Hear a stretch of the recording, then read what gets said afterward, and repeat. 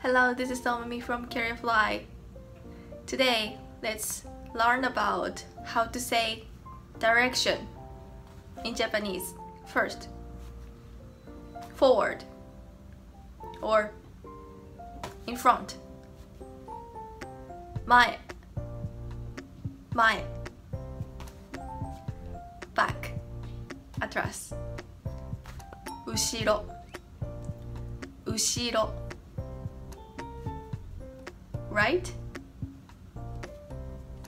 右 and left 左左 either way but aside 横横 above 上上 under below 下